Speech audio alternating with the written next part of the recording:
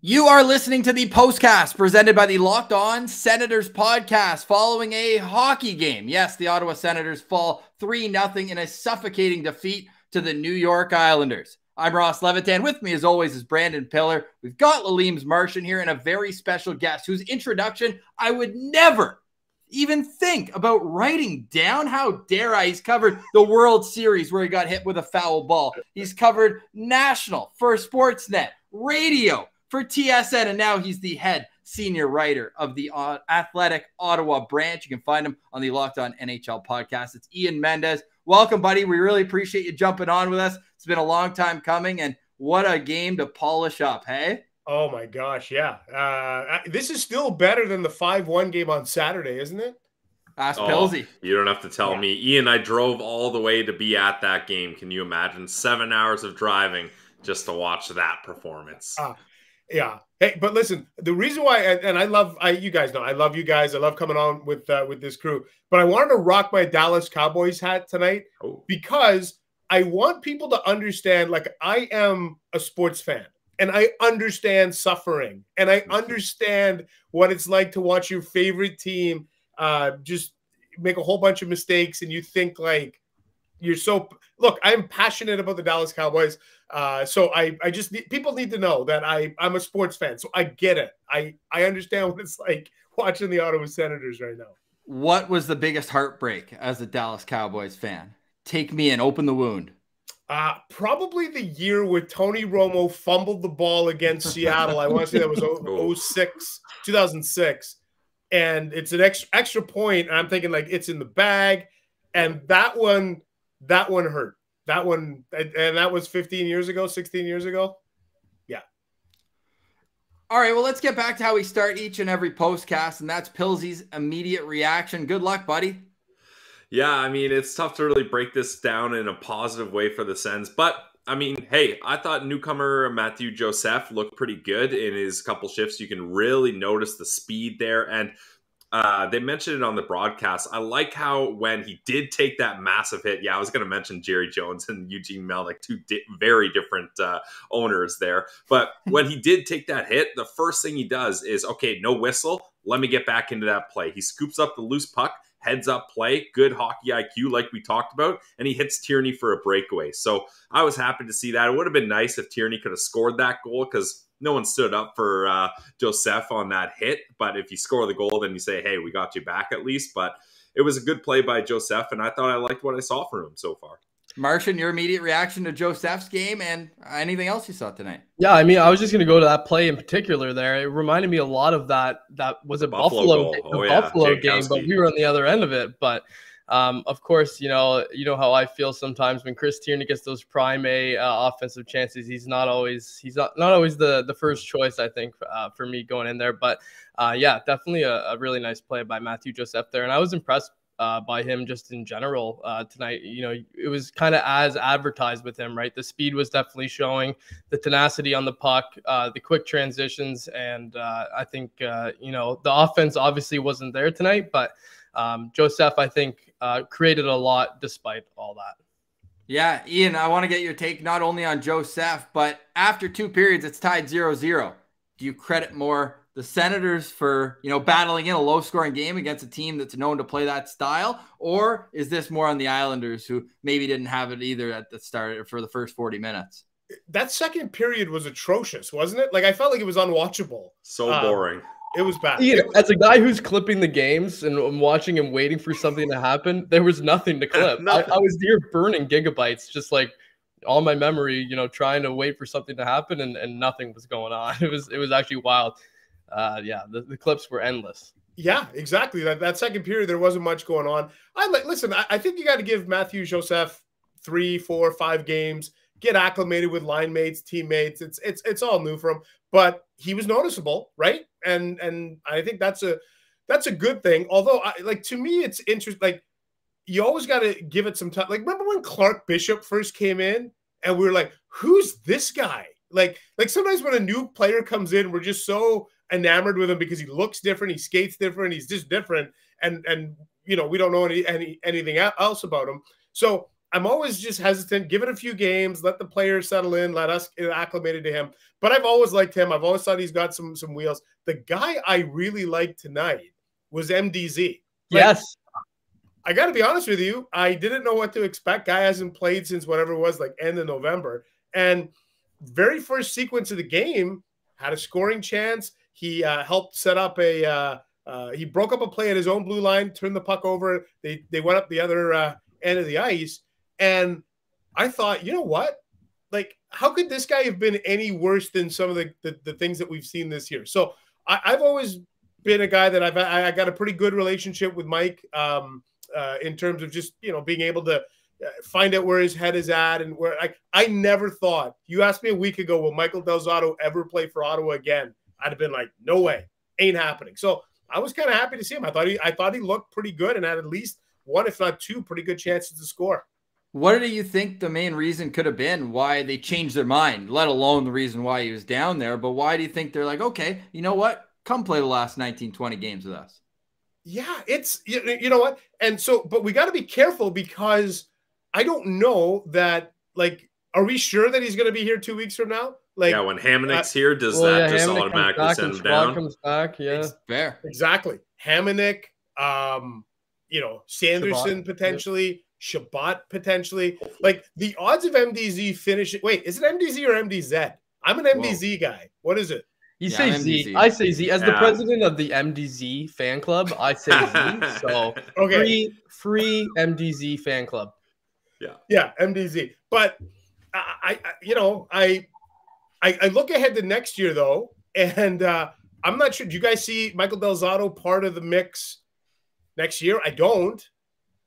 But you know, at, at, least he's if he gets some games up here, maybe you can find a place for him in the summer where you you're offloading him and you eat some salary or you buy him out or something, right? Or maybe you get a third round pick in return. That seems to be the price for a guy like that. Too soon.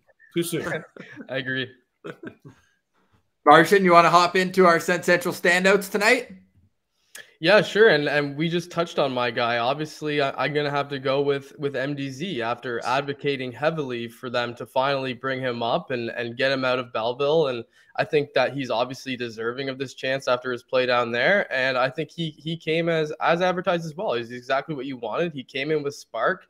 Um, you know, jumping back into the lineup after coming up from Belleville. I know he's he's got you know tons of NHL experience. He led the team uh, tonight in NHL experience, obviously. So um, for him to come in and, and after a, a stint in Belleville, there's still got to be a nerves, I think, probably for a guy who's still trying to, you know, trying to cut his own chops and say, you know, I can still play in this league, and I know I deserve in this uh, deserve to play in this league, and I think he played like like that tonight, and I think he had something to prove, and I think he, I mean, it's only one game, but I think you know, mission accomplished. He proved it. I, I know. I think he took a minus at one point in the game there. So what? You know what? I don't think anybody had like a particularly great game uh, back on the back end. So um, he he stood out for me for sure. Nikita Zaitsev, the only even defenseman. All five others uh, dash with Brannstrom, the only dash too. Pilsy, what do you got? And it's gonna be tough to beat the beer vendor. yeah, I mean, hey, just shout out again to that beer vendor in Montreal. Great job there. But my central central standout for tonight's game is going to be Tim Stützle. I thought he was all over the ice. He had the puck on his stick a lot of the time. He was making great plays. His deeks inside the offensive zone. I think he set up Michael Del Zotto for a nice point shot. And I thought it was interesting. Finally, uh, did you guys have Tim Stützle on the penalty kill on your bingo card for tonight? Because that was a rare one. And DJ Smith showing a lot of trust and giving him responsibility on the PK, which is rare in itself, but also taking a defensive zone draw when you're down a man. And Timmy ended up winning that draw too. So I thought that was an impressive showing for Timmy. And it shows that DJ Smith is like, hey, we're at a point where let's just experiment. Timmy needs to have uh, more experience in the faceoff dot. Why not throw him into these situations? So I was really impressed with that and thought if he shoots the puck a little bit more often, he can create a little more offense, but he was looking good tonight. Ian, we'll let you go. I'm not going to leave you with the bare bones at the end of the, the road here. So what do you have? so, so this is my uh, Sens Central Performer of the Night, or what's it called again? The Sens Central Standout. It's not quite yeah. the level of Sens stocks that we you know Aleem's Martian has yeah. unlocked there, but we like to just snap it around after the game and give a few shout outs. Okay, so I mean, I, I feel like I already did Del Zotto, right? So I, I can't go back down there. Uh, Pilsy there already took uh, Timmy. Timmy. Uh, can I go Nick Paul? Can I go to another game? that was a great reaction when Connor Brown was told, eh? Wasn't that great? Like awesome. when you see Connor Brown, Gord Miller tells him, and you see Connor Brown, like, oh, way to go, Paulie. Like, yeah, that was awesome. because was it, it, like that that interview, it took it took us on a journey, didn't it? Like the first answer looked like he was gonna cry, and then the yeah. second answer looked like he was so happy for the guy. And and I think to me, like Nick is such a good guy. Like this is actually a good trade. Like I think Ottawa fans are going to like Matthew Joseph. I yep. think um, this is going to be a win-win scenario, and I hope Nick goes there and he, he gets a great chance to to win a Stanley Cup. But I just love tonight in watching the game and seeing my phone when I was hitting refresh, and you see the highlight. To me, I love that. I love I, I you know I love seeing Nick Paul go to, to Tampa and score a goal tonight. So he's my he's my guy here.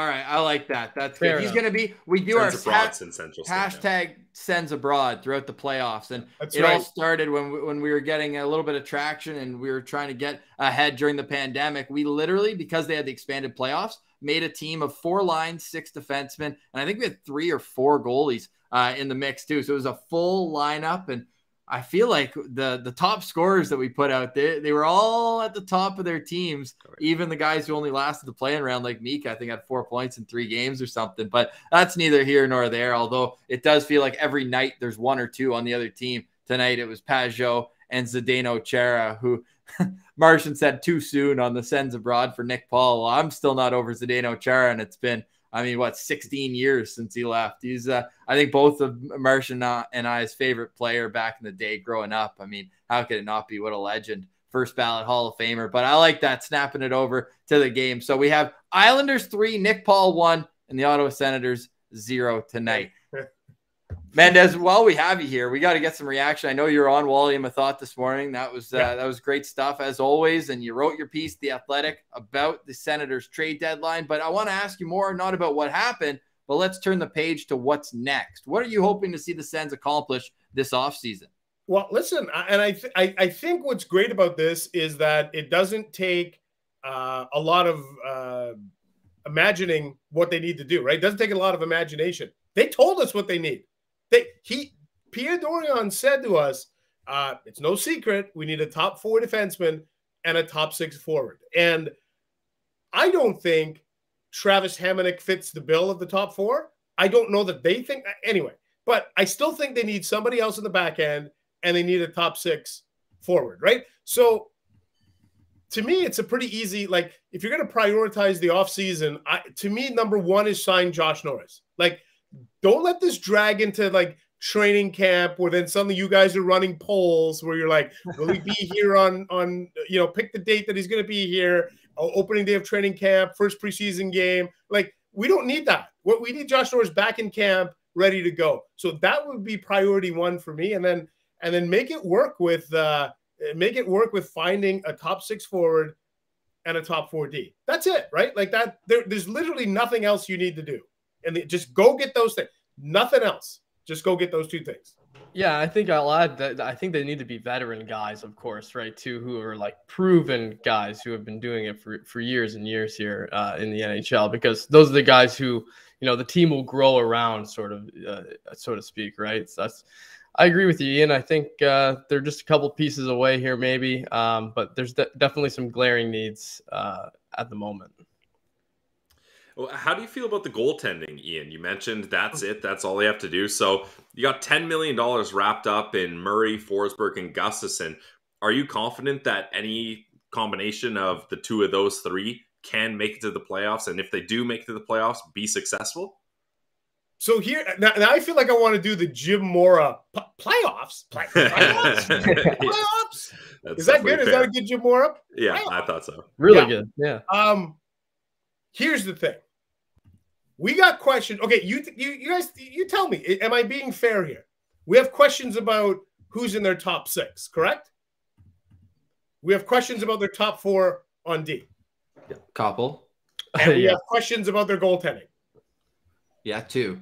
Okay. Other than that, we're feeling good, right? Like, like literally the whole roster. We have questions about the whole roster. So I, to me, I get a little hesitant when I hear people saying, "Yeah, you know what? We're going to be a playoff team." Like, we can't say they're going to be a playoff team until we get to like January of next year, and they're in the race. Like to me, but but I don't also want to dampen the enthusiasm because this fan base needs some enthusiasm. You need some positivity. It can't all be doom and gloom, but we need to take a realistic approach that this team has legitimate questions here on the 22nd of March with their top six forwards, with their top 4D, and their goaltending. And for me to sit here on this platform and tell you it's all going to be okay that they're going to be a platform, I can't tell you that. But but if I had to rank like now here, this is the better question. Now, those if those are the three issues, what's the what's the number one issue for you? Because I kind of feel like goaltending's three for me on that list, and that sorting out the D is one, getting the other forward is two, and goaltending is three. But I'm open to to hearing if you guys think that that that needs to be stacked in a different way. I'm going to go a different way. Like, what what do you feel like? Like, if you look at the expansion Ottawa Senators and you look at, at the current Ottawa Senators, I feel like they, they do sort of run a little bit parallel to each other. Where do you think, in relation to that, the current Senators kind of are? Because to me, I see them as late 90s right now. And they didn't really start like making the playoffs and winning until, you know, those early 2000s years where they were like consistently being able to do it. Do you kind of see it the same way? Like where where do you where do you kind of think that they're they're at right now as far as like growth? Are they like a trade away two trades away three pieces? We i mean we talked about all those three different positions but um i mean where do you kind of see that in relation to like or, like if you can put it back to a timeline? Oh so like are we saying that the, like like are we past dave allison or are we still in the dave allison era like i think we I, well see i was pretty young at that point but i think we're past Dave Allison. I think okay. we're we're like right around like about to trade Yashin days. Well, that's where well, I think. So after the holdout, Yashin, they were they, they were like a, a, playoff team at that point. Like, like I think we are. They have like. Are they still at the Civic Center, Mendes? They are in that that little window. Did Jacques Martin coach them for like two weeks at the Civic Center? Ooh, that's that's above my pay grade. Right? because because Jacques coached them at the at the Palladium the first game, right? They are Jacques Martin at the Civic Center. There's like a, okay. there's like a week. That's what we needed to hear. That's where they're at. You can see it. It's coming, but a bunch of things have to like like for Ottawa for, to go from where they were in 95, 96 to 96, 97. They got consistent goaltending from Tugnutt and Rhodes, right? Uh, Wade Redden really kind of came in, and, and Chris Phillips, and they all kind of started yeah. to like. The, started to see that that core, that younger core, start. Yeah, exactly. Right. That's kind of what I was trying to get at. Yeah. Yeah, I, I think that they are 95, 96 Ottawa Senators. Uh, they're like they're the they're like January the tenth, 1996. That's I'm gonna even give you a specific date. That's so where they are. January 10th the Palladium opened on in January of yeah of ninety seven. Seventeenth, I want to say. Yeah, exactly. Yeah. so the week um, before. Yeah, uh, January fifteenth, Timmy's oh, birthday. Fifteenth. Yeah. so that means yeah, Jacques Martin took over at the start of that season. So I mean that means we're we're close. No, I think, I think Jacques took over in like late December, right? That year because they, they oh, started oh, with Rick Bowness. Yeah. Then they went to the 25 games of Dave Allison, and then they went to Jacques. It was like the three the three coaches in one yeah, I see it. You're right. Yeah. That's wild. That was the year that uh, Daniel Alfredsson finished uh, first and won the uh, Calder Trophy. So not quite a parallel, but I mean, Josh Norris got close last season. I think he was fourth in voting. Fourth, uh, yeah, he was. He was fourth. You know, okay. Can I slide a quick story? A quick story because I want to focus less on this terrible game between the Senators and the Islanders and I want to tell you that uh, in 1995-96, I was a journalism student at uh, at Carleton, and for a class assignment, I interviewed Daniel Alfredsson. No way. Yeah, wow. that's the first time. And I've told him about it after, and he's like, he had no recollection of it. and, but this story is so old. It involved me taking a bus to the KRC. Okay, taking OC Transpo to the KRC, and then writing, interviewing Daniel Alfredsson and then producing that off a dot matrix printer. wow. You guys I don't, even know, what that is. I don't even know what that is. yeah, that's what, what I love. you guys are like, I don't know what a dot make. Somebody like, look, I'm the same age as Zdeno Chara. So anybody that's gonna, in this, I was actually gonna bring that up. Like I was, I was actually thinking about that. I'm like, I, I didn't really know exactly what age you were, Ian. So I was like, is is do the Islanders have a player who are older than Ian? oh man, I'm hanging out. Like when Tom Brady said he was coming back, I was like, yes, because yeah. Tom Brady and Zdeno Chara are still in your prime. We're That's all the awesome. same age. Hey, I mean, yeah, there's players playing in, in both those professional leagues that are the same age as you. That's a beautiful thing. Exactly. Yeah. That's awesome. Uh, speaking of interviews where the, the person being interviewed doesn't remember and pigeon tosses you. Actually, no, I shouldn't say pigeon toss, but out of yeah. your memory bank and never remembers. Yeah. Me interviewing Ian my first year at CSM. Nicest guy, answers the email right away. I'm so brutal on this call. It's in the early tapes. We put it in to one of the Making Sense of the Sens episodes. Oh my God. If we could hear that back now, Ian, it was a struggle for me. My first question to you was how you were at like a gala the night before, so I was like, "How was it? Did you meet anyone cool?" Like, sick, sick question, dude. it was so bad. Somebody has to find the lost tapes. Of oh, we can there. find that. That would be amazing. Yeah, yeah. David Lannis probably has it somewhere at uh, at CSM for sure. That's uh, that's hilarious. But amazing. no, man, that's awesome. We really appreciate having you, and I want to get one last one in. Yeah. And uh, I don't know if the boys do too. That's our trick of the trade when we have an interview. I say, "Oh, final question." And then Pilsy goes final question for me. It's yeah. uh yeah. so we get to double barrel double barrel action. Oh, Who has been the biggest rising star on TSN hockey coverage? Is it Cheryl Pounder or Mark Methot? Hot takes only on a late night edition of the post. Some recency bias, maybe okay. just going on Mark's show though. Yeah, fair. Ooh, yeah, but point. Cheryl was killing it yesterday true. in trade deadline day. Yeah. So. Biggest riser on TSN as a young star Give me some Hailey Salvian. Oh, nice. third option, of course. You know what? I, I I think the world uh, of Hailey. Uh, she's so talented. Uh, I I really am disappointed that she's no longer. I know people think, hey hey man, didn't you punt her out of this market? well, it didn't happen that way. Uh, and I love I love Hailey to death. I love doing the podcast with her. Um, yeah. She would be like sneaky my my my off the board uh, pick. But a lot of people say, are saying you ran her out of town, dude.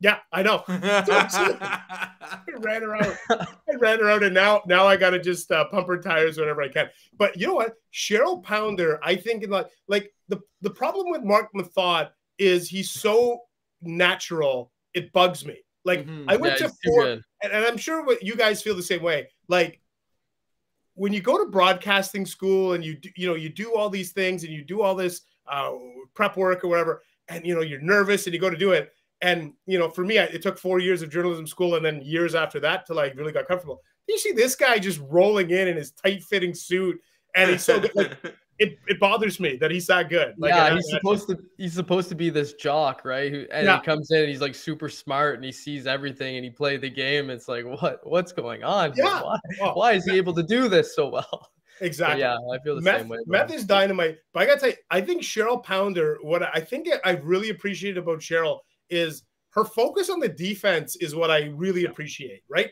And I know you guys are a goalie friendly show, so sometimes you focus on the goalies. And you know, when you listen to Mike Johnson, sometimes he's focused on the forwards. I don't know that we have enough former like analysts in the game that are defense, that played defense and understand defense as a position. I know Mark Methot obviously is is a defenseman, but I really think Cheryl Pounder has been great. And I, I loved Cheryl's work at the Olympics. I thought it was top notch. I think we're really privileged to have like that TSN. Honestly, like let me just like I don't know if people understand how fortunate you are in this market to have that caliber of talent on your um, your local broadcast. Like it's it's national quality for a regional yeah. broadcast, and we're really fortunate there. I love Carlo Colaiacovo. I'd say this to his face, but he would much be rather doing Leafs games than Sens Yo, games. For sure. He, they only brought him in today because Del Zotto was playing. I yeah, think. yeah, his buddy for sure. Boys, uh, you got anything for for Ian? I was just a little more rattled that Ian got an intro and I didn't even get one until we were like. You're always minutes. recurring guest. I know. Yeah. yeah. how how thick can I pump you? yeah, we introed Ian and everything got thrown off for a loop. I, I no one even knew it was here.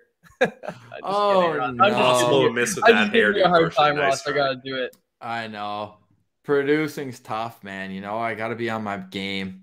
Pillsy, you got anything, or should we let the legend leave us after a very kind half hour with the fellas? Hey, Ian, it's been a whole, it's been a blast getting to chat with you and oh, yeah. talk about spicing up a game that needed just that. Oh. It's been, uh, it's been a ton of fun. Yeah, listen, guys, thanks for thanks for having me. And listen, I'd love to come back and join you either for a postcast or another pod or something down the road. And uh, yeah, listen, uh, have a great night and thanks uh, thanks so much for having me.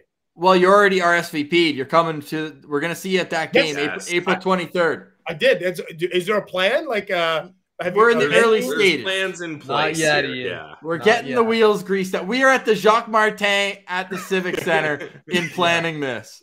I want this to be really weird, where like we all end up at the Swiss Chalet on Terry Fox.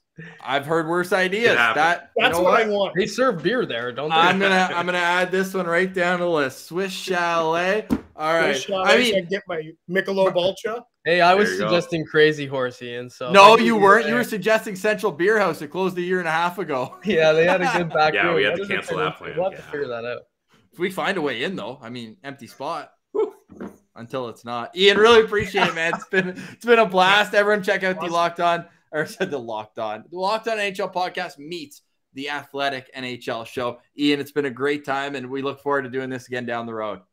You got it, guys. Have a good one, and thanks for having me. All right, thanks, that's Ian Mendes, an absolute legend, and we will be seeing him in Ottawa. Pillsy, some final thoughts for you from that nasty 3 0 loss.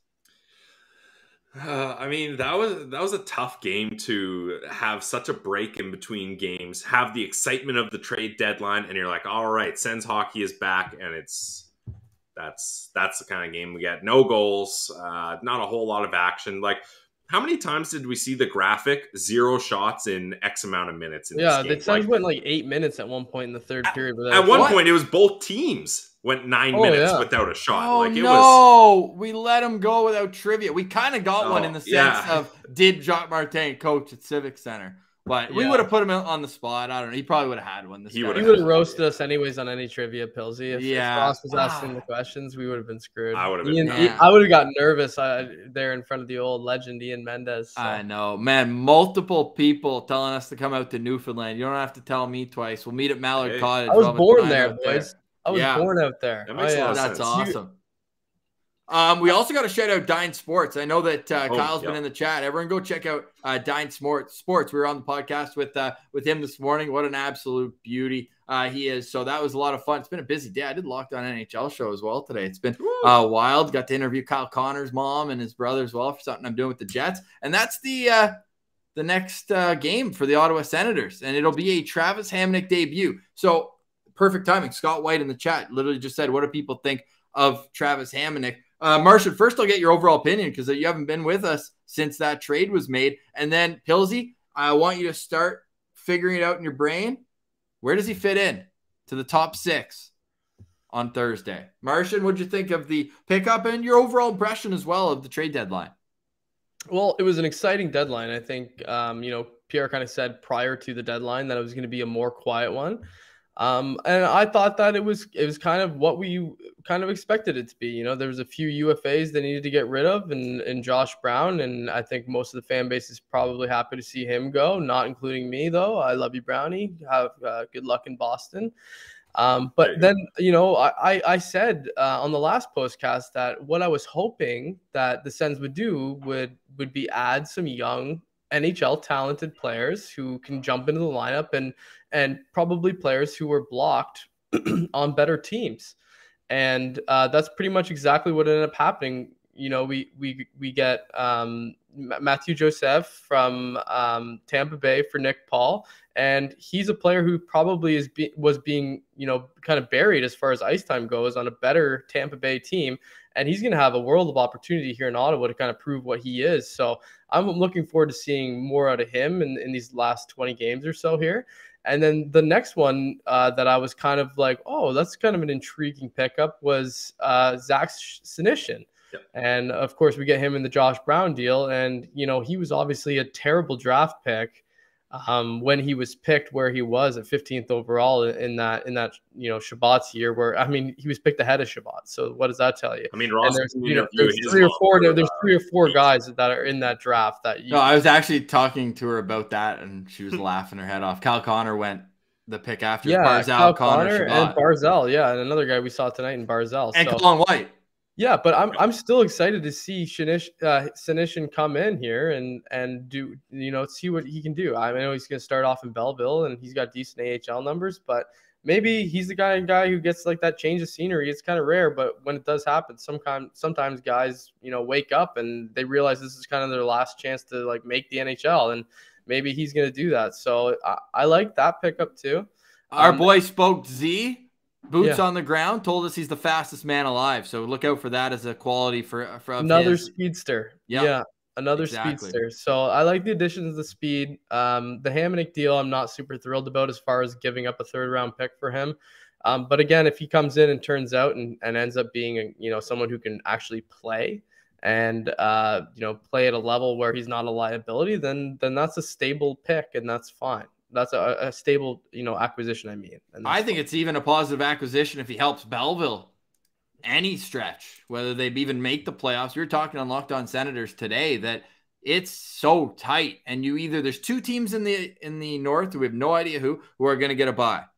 Or sorry, three teams, but two kind of because we know Utica's first; they're locked yeah. in. But beyond that, you can be second one night and get a buy. Third gets a buy. Fourth and fifth have to play a best of three and then six is completely out. And right now, nobody knows who's going to be who. It could be any of the teams. So with the divisional lineup, like if you, you can get a little extra scoring, why not go out and, and get a guy who can help? I think he slots in in the top six down there right away. Probably takes a little pressure off of the two young snipers down there too, because he, as we mentioned, he already goes in. He's leading the team with 19 goals. So hey, it's uh it's a low risk, right? The way Dorion broke it down, and I actually appreciated this from his press conference. He's like, okay, we traded Josh Brown for a fifth, and then Senyshyn for a seventh. That if he plays in the NHL, becomes a sixth, and good for him. So I, I thought that was a pretty rationalized uh, way of looking at it too. Um, but I know Martian, it's it's the trade tree effect for you. You've already eaten the Josh Brown apple, so it's just digesting inside of you as Zachary Senyshyn. Yeah, so now he's my new guy. He's my guy that I'm going to protect and defend at all costs. Okay, so if you come at Zach Senyshyn, you're coming at the Martian. So bring it on, you guys. All right, Zach Senyshyn is a player. All right, let's go. Let's see uh, it. That's awesome. And he's local, and he's local. Yeah. He is a local, local, kid. Apparently, he still lives like ten minutes from the CTC. So away, away he Perfect. goes, and, and off and on. Yeah. So, um, we'll end with this. Pilsy, the question I asked, where are you? Not DJ Smith. Where are you putting Travis Hamonic on when on Thursday in Winnipeg? Well, I mean, if it was up to me, I'd probably put him in the press box, uh, see how he likes Winnipeg popcorn, and uh, go on from there. But if it's I'm going decent. with what I, yeah, if I'm going with what I think the team will do, I have him beside Nick Holden because they didn't bring him in to be a scrub. They brought him in thinking he's going to be a top four. They even talked about him, him possibly playing with Chabot. So that goes to show where they think he's going to be. And they pegged him as Sanderson's partner in the future. So they obviously have high hopes for him. And I think they're they must be seeing the way Nikita Zaitsev has been playing now, and they must be thinking we got to get him farther down the lineup. So if you have a new shutdown pair of Holden and Travis Hamonic, that's probably how they're going to go here. And I think you keep Randy with Zub and Mete. Obviously, he's he's the guy that's going to stay on that bottom pair. So I would say you're going to see Brandy Zub, Holden Hamonic, and Mete Zaitsev. Mete Zaitsev. I do That's not terrible, like, eh? I know. I, I don't like the the Mete Zaitsev. For, so I'll bring my that. gear. I'll bring my men's league player equipment to, to yeah. the Well, well, f- for that reason, I'm gonna say that you put Hamonic with with MDZ. Whoa, what do you think of that? Oh, and take and uh, Mete out. I don't mind that. Okay. You could honestly probably convince me that that's a solid top four pair in 2014. Yeah, I was gonna say there's something missing there. yeah, you know what? I think that that's probably the most stable you can make that that group of guys is you know you you hope that there's some sort of synergy between them. I know one of them's gonna have to play the the wrong side if I'm not mistaken. There, I think Hamonic is also a right. Usually, I think MDZ prefers the right as well, right? Yeah, but he's left shot, so he's I'm sure. He okay, so he can. He's he playing can NHL minutes, baby. He can play. You know play wherever you want, and yeah. and he's free now, so you can't throw him up in the press box now. Let's go get him in the lineup, pump him up. He's motivated. He wants to get traded probably at this point, right? So I'm pretty gonna... sure Senyshyn, if we had a trending thing, would this is hilarious in the chat. Everyone keep it up. What's going on in there? Eh, Senyshyn is just like an all-time favorite. Everyone's everyone's fired up for Martian. They're eating the apples. Effing right. That's awesome. That's good. Uh, my buddy Spoke Z will be happy to see that. So. Oh, he's he's front and center, man. He's loving it. We gotta ask him. yeah. is, it, is it Z or Zed? I mean, he's probably oh, he's, he's Zed. Answer. He's American though, right? Yeah, he's so. a Zed. He's a Zed guy. Spoke Z sounds so much better. I think next time they play the Burns, we'll have to get him on for a postcast. I think that. yeah, hundred percent. Yeah, because they're done with the Wild too, aren't they? They gotta know. be. They played twice. They he's, he's double yeah. dipping. Eh? He's got an East and a West team. Yeah, I don't know how I feel about that. I gotta ask questions. We got the Sens, and then every single of the 50 players who used to play there. Hashtag Sens abroad. Yeah. Yeah, we cheer for the Sens abroad. That's what we do. At Boston, April 14th. See you then, Spokesy. Uh, also, speaking of see you then, let's finish off the show with a little PSA. Yes, yes. The boys are getting together. April 23rd. We teased it a little bit with Ian Mendes, who will be making an appearance, I'm sure. What an absolute beauty. So Zed guys are commies. That's hilarious. All right. Um, so April 23rd in Ottawa, Montreal. It's Pilsy's revenge game for having oh to be at the Bell Center for that 5-1 loss. We're gonna plan something. We put out a tweet. Hit us up on the on the replies in the tweet. The Ottawa Senators ticket staff has been awesome. They're trying to figure out a way to make sure that we can either be all in the same section. We'll we'll figure it out. But we got the ball rolling. As I told you, and we're in the Jacques Martin, leaving the Civic Center. So we're, we're getting closer, but we're not quite there. But we're hoping by April 1st we'll announce it. And of course, our boy Stewie who's in the chat tonight. You Guest might remember. Honor. I almost want to say if you're an OG listener, but that was like three years into it. But when we hit a thousand subscribers on YouTube, we said we'd treat one of the listeners to a game. So of course, he is the I almost said maid of honor. Sorry, Stewie, the guest of honor in uh, in the game. Pilsy, this will be a fun one too because it's our first visit to the CTC since opening night. A huge win. We've seen two games at the CTC together, right? The other one was a 4 1 win against the Rangers. Yeah, and just to just to clarify, so you guys all know, the plan is, and just the plan is, we're gonna go somewhere to all meet before the game have a good time, have some drinks, have some food, have some laughs, all meet up, and then we'll all go to the game together. And the Senators ticket staff have organized a way that we can all get tickets in the same section. So if you guys are interested in both the pregame meetup and purchasing tickets in the same section so we can all get rowdy together at the game, let us know. And we're going to be planning that, and we'll let you know when things are confirmed and how you can join. Yeah, super fun. Marshy, looking forward to it? Yeah, I, I want to know what kind of animals we have here. Like, what kind of guys are in the chat? What kind of guys are on Twitter? I want to meet. I want to meet people. I, I've had great experiences so far, and I've only been, you know, part of this community. I really feel like for the last two years, and every person so far that I've met has has exceeded my expectations as far as like, you know, just the personalities and their eagerness to talk about the Sens. And I really have no fans who are Sens fans in my in my life who are like my friends who I can talk about it with. So it's really whoa, great. Oh, hey, whoa. Well, I mean, I mean, I mean, you we had a nice conference call today. Come on, pal. You guys were, uh, you know, you were my first kind of internet friends, right? So I include you guys in that group. How funny! Can, can, we quickly tell a story? Because I mean, the numbers are dying down. Shout out Ian Mendes, but we appreciate everyone coming. I feel like the people who are left would appreciate a funny story. The first time, when was the first time we ever met in person? In I know person? the answer to this. How come I can't remember? Wasn't it on our double date? It was the Nodak oh, five overtimes no. night. Yeah, it was. Yeah, it was. Actually, yeah. it was. We did. So we we, we made our girlfriends go meet our internet friends with us. Oh my god, yeah. And then they're just like, oh, we're just gonna watch a quick crazy. hockey game after. Yeah, Sonk five overtime I was trying to think, later. Well, the first time me and Ross ever actually spoke was on the postcast or on the podcast. on the pod, you were one sure. of our first Sen Central citizens. I was a Sen yeah. Central citizen. So, so we yeah. then we go to town right off of Elgin Street, and yeah, our poor girlfriends probably thought we are the weirdest dudes all time. Yeah, they just got stuck there listening to us chat about the Sens all night. It's pretty funny. oh, that that was awesome. Hey, it, it, worked out well. It's been a blast getting to know you. And last time I went out for beers without them, so it's not like we need our. Uh, you know, our arm no. arm candy to uh to go out and have a good time. What well, breakfast just, bar? It's like yeah, literally across the street. excuse to leave, really. So like, if something happened, like yeah, just just like do something. that, that's awesome. Yeah, yeah. No, it was a great time, and we're looking forward to more great times at the end of the season. I'm probably gonna go to all three that week. We're gonna bring mom and dad to one as well. They're gonna be in town, so uh, looking forward to all that. But for tonight, we should say goodbye. This was an extra long postcast. We had a fantastic time, dude. How about Ian Mendes just jumping on with the fellas? Like what a legend. You can't say much more about that guy, eh? I don't know how anyone could say a bad word about this guy.